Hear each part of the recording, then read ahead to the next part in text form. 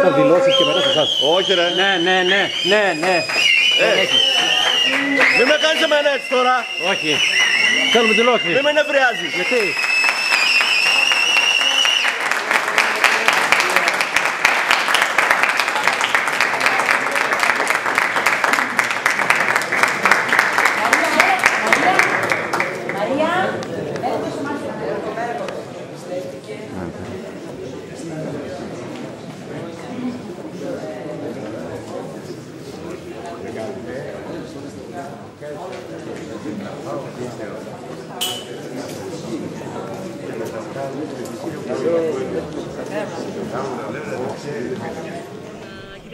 Συγχαρούμε καταρχάς για την νίκη σας και για τα ποσοστά που έχει λάβει η Νέα Δημοκρατία στην Καστοριά, τα οποία βέβαια δεν έχουν καμία σχέση με το γενικότερο κλίμα που επικρατεί. Οι Έλληνες αποφάσισαν. Η απόφασή τους είναι σεβαστή.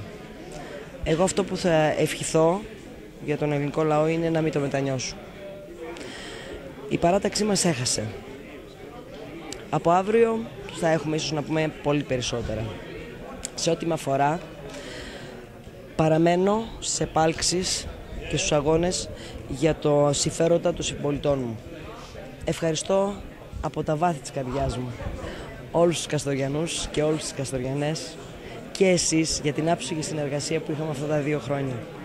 Και όλους εσάς, τα μέσα μαζικής ενημέρωσης, που με στηρίξατε, που, που έφτασε η φωνή σε όλους τους Καστοριανούς και σε όλες τις Καστοριανές. Αυτό που θέλω να πω είναι ότι συνεχίζω δυνατά τον αγώνα για τα συμφέροντα των συμπολιτών μου.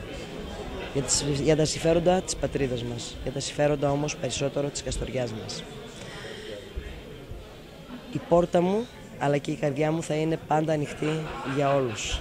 Θεωρείτε, κύριε Αντωνίου, ότι και το ποσοστό που κατάφερε να πιάσει η Νέα Δημοκρατία στην Καστοριά, αλλά και η δική σας νίκη ήταν ε, ένα προσωπικό στοίχημα. Εγώ θέλω να πω ότι οι νίκες είναι όλων μαζί. Ε, όλοι μαζί αγωνιστήκαμε, όλοι συνυποψήφοι και φέραμε αυτό το αποτέλεσμα. Πού οφείλεται η Είναι μεγάλη κουβέντα σε πολλά λάθη, σε, στο ότι η αλήθεια μάλλον δεν, δεν αποδέχτηκε από τους Έλληνες πολίτες, δεν έγινε αποδεχτή. Ε, προφανώς οι Έλληνες αρέσκονται στα ωραία λόγια. Εγώ αυτό που είπα εξ αρχής, εύχομαι να μην τη μετανιώσω. Οι συνυποψήφοι σας σας συνεχάρισαν; Μέχρι στιγμής όχι κανένας.